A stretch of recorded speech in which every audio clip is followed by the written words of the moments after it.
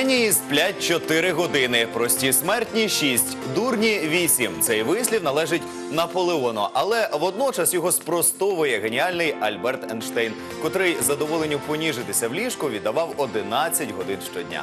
Сон, безперечно, річ важлива і невід'ємна для здоров'я людини. Лікарі радять спати 7-8 годин, а для здорового сну головне режим вчасно лягати і прокидати. Допомогти вам збадьоритися вранці і налаштуватися на плідний та позитивний день. Завдання нашої команди ранку по київськи саме цим будемо займатися впродовж наступних двох з половиною годин. Ну і про сон ми заговорили зовсім не випадково, адже сьогодні відзначається його міжнародний день. Тож у студії чекаємо на Юрія Погорецького, президента Української асоціації медицини сну. З ним поговоримо про те, що необхідно для того, аби ваш сон був здоровий, а також що таке сни, наші бажання чи страхи. А ще сьогодні своє професійне свято відзначають комунальники. Ближче до восьмої до нас завітає Дмитро Новицький, директор департаменту житлово-комунальної інфраструктури КМДА. З ним поспілкуємося на тему двомісячника з благоустрою столиці та благоустрою прибудинкових територій.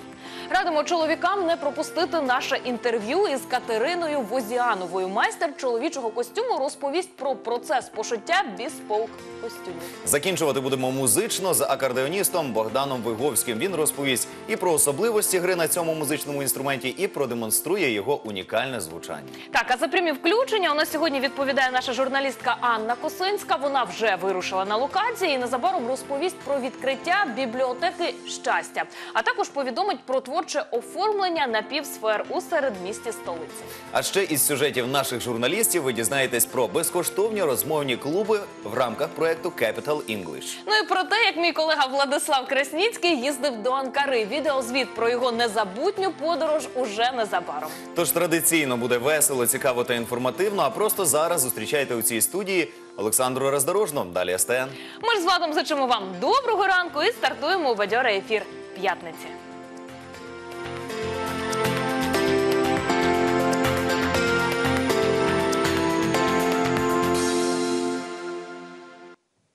Мої вітання на годиннику сьома ранку. А отже, час поділитись з вами свіжою та актуальною інформацією, аби ви були у курсі усіх важливих подій з життя столиці та країни. Президент Європейського парламенту Мартін Шульц запевнив у готовності Європарламенту підтримати рішення про запровадження безвізового режиму для українців цього року. Про це він сказав під час зустрічі з Петром Порошенком у Брюсселі. Також питання безвізового режиму президент обговорив із президентом Єврокомісії Жан-Клодом Юнкером і президентом Європейської ради Дональдом Туском. За підсумками зустрічі Петро Порошенко подякував за рішення Єврокомісії внести законодавчі ініціативи щодо запровадження безвізового режиму з ЄС для українців. Президент Юнкер, президент Туск заявили про те, що вони передають е, законодавчі пропозиції в Європарламент і в Раду Європейського Союзу. На засіданні е, Європейської народної партії керівники більшості держав і урядів країн Євросоюзу підтримали позицію по негайному запровадженню безвізового режиму. За минулу добу один український військовий загинув, ще двоє отримали поранення. Протягом дня проросійські найманці 13 разів обстріляли позиції Збройних сил України, повідомляють у штабі. Поблизу Новгород... Новотроїцького бойовики застосували заборонені мінськими угодами міномети калібру 120 та 82 мм. Пізніше до обстрілів долучили БМП, гранатомети різних систем та стрілецьку зброю. В районі Опитно та Мар'їнки вогонь вели ворожі снайпери. Позиції поблизу Широкіну бойовики обстріляли з міномету калібру 120 мм, а поруч з Майорським та Луганським російські терористи вели вогонь з гранатометів різних систем. Всього зафіксовано 13 обстрілів позицій Збройних сил України. Вивчити питання щодо надання Надії Савченко земельної ділянки доручив своєму профільному заступникові міський голова Віталій Кличко. Нагадаю, місто вже запропонувало родині ділянку у Биківні. Утім, мама Надії Марія Савченко під час зустрічі із мером висловила побажання отримати землю в іншому місці. Тож питання в найкоротші терміни вивчать і шукатимуть можливості його вирішити. Враховуючи е, те, що Надія Савченко сьогодні є прикладом е, патріотизму, вона е, є людиною з великим серцем, мужністю, і ми терміново знайшли можливість там же в Бикавні е, запропонувати земельну ділянку. Але були зауваження і бажання отримати інший е, участок землі. І тому зараз ми прийшли до відповідного е, заступника для того, щоб ми розглянули це питання, вивчили, пройшли через комісію. Якщо є така можливість, виділили. Нагороди знайшли своїх героїв. Ордени за мужність отримали 27 учасників Революції Гідності. Їх особисто вручив міський голова Віталій Кличко і наголосив, що Україна і світ має пам'ятати про тих, хто пожертвував життям і здоров'ям на Майдані Незалежності, відстоюючи європейський вибір і гідне майбутнє країни. Крім цього, ордени за заслуги та орден княгині Ольги отримали учасники АТО та війни в Афганістані. Загалом нагородили 50 киян.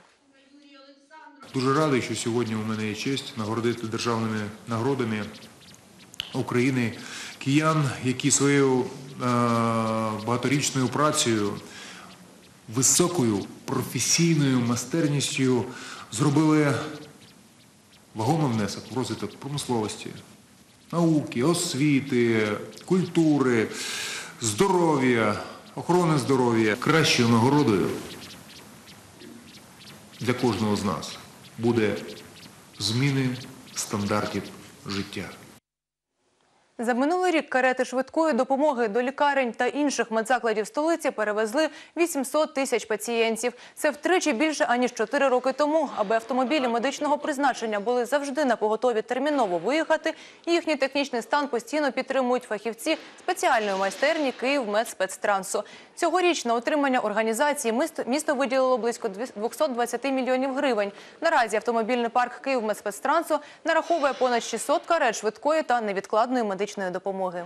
За минулий рік проведено 6 тисяч 697 ремонтів різних типів. А тепер уявіть собі, якщо в нас майже 700 автомобілів, то кожен автомобіль за рік в середньому 10 разів підлягає ремонтним роботам. Ми виділили 30 мільйонів гривень для закупівлі техніки е, якраз для е, таких цілей. Будемо старатися в першу чергу доводити показники до відповідного рівня е, по забезпеченню автомобілями швидкої допомоги, там реанімобілями, а також, також автомобілями первинної ланки.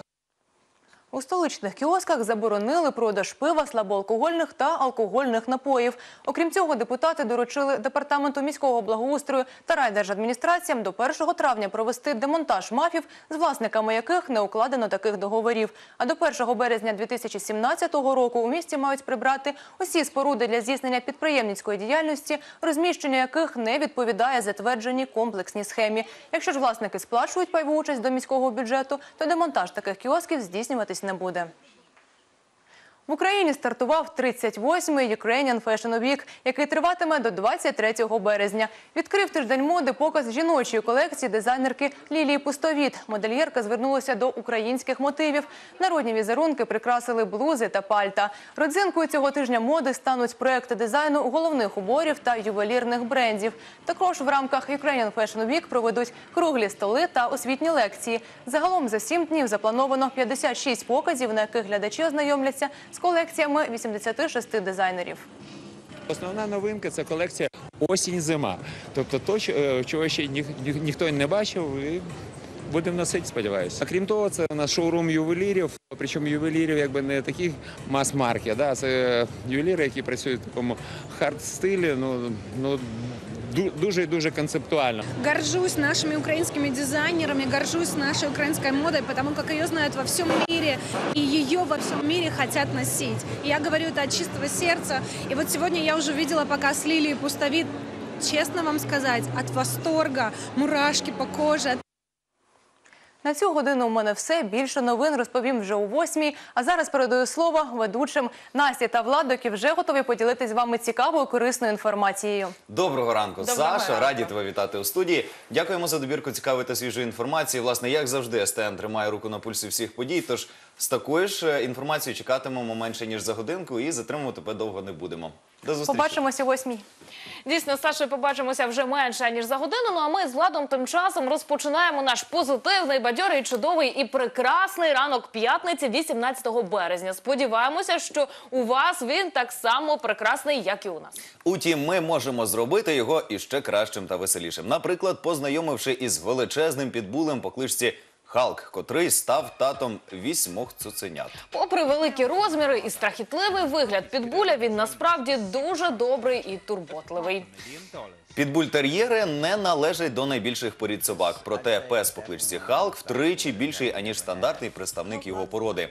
У віці півтора року він важить 80 кілограмів. І він все ще продовжує рости. У день, окрім усього іншого, Халк з'їдає близько двох кілограмів сирої яловичини. Господарі собаки Марлон і Ліза Гернар з Нью-Гемпшира кажуть, що Халк дуже добрий і врівноважений, і довіряти. І вони навіть довіряють йому грати із їхнім трирічним сином. Мерлон, займаючись розведенням і дресируванням підбулів на продаж, не згоден з тими, хто вважає, що цю породу дуже складно зрозуміти, що вони непередбачувані та агресивні. Отже, ми щиро сподіваємося, що нам вдалося підняти вам настрій. Ну а далі будемо рухатися вже за мить і почнемо з добірки свіжої інформації. Отже, завтра, 19 березня, у Києві погіршаться погодні умови. За даними українського гідрометцентру, очікується сніг та ожеледиця на дорогах, посилення швидкості вітру до 15-20 метрів на секунду, а також зниження температури повітря.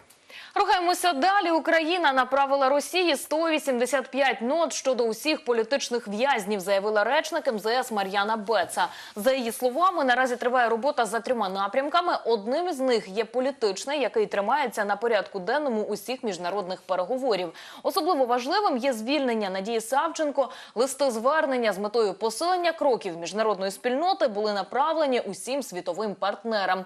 Зазначимо, що окрім Савченко, серед незаконно заарештованих та засуджених у Росії знаходяться Олег Сенцов, Олександр Кольченко, Олексій Черній, Микола Карп'юк та інші. В Україні підписано український пакт заради молоді 2020, який дозволить створити 10 тисяч нових робочих місць. Про це повідомили у прес-службі Міністерства молоді та спорту України. Згідно з інформацією, його підписали представники провідних компаній, роботодавців та центр розвиток корпоративної. Соціальної відповідальності подібна ініціатива дасть можливість молодим українцям розвивати свої здібності та знання для власного професійного майбутнього. Ну і маємо прекрасну новину для всіх мешканців Києва і для тих гостей, котрі завітають уже в травні. Адже із 1 травня у столиці запрацюють центральні фонтани. Про це повідомив заступник голови КМДА Петро Пантелеєв. За його словами, комунальне підприємство «Київводфонд» готовий запустити головні фонтани. А це засновники Києва, водяна куля, каскадний, хрещатик тощо. Минулоріч через недостатність коштів на електроенергію їх вмикали лише на свята. Проте нині вони працюватимуть до кінця вересня. Окрім того, наразі триває укріплення опорної стіни біля фонтану за адресою вулиця Хрещатик, 25, аби попередити аварійні ситуації і щоб він також запрацював 1 травня. Далі в ефірі ранку по київськи рубрика Курс валют. Час повідомити вам про коливання курсу гривні та співвідношення зі світовими валютами. Отже, згідно з офіційним курсом НБУ, 1 долар коштує 26 гривень 70 копійок, євро 30 гривень 20 копійок, а російський рубль 38 копійок. Готівковий курс банків виглядає наступним чином. Американський долар можна придбати за 26 гривень і 27 копійок, а продати за 26 гривень і 94 копійки. Євро купівля 29 гривень 16 копійок, а продаж 30 гривень і 15 копійок. Російський рубль купівля 35 копійок, а продаж 38. Інформацію надано фінансовим інтернет-порталом finance.ua.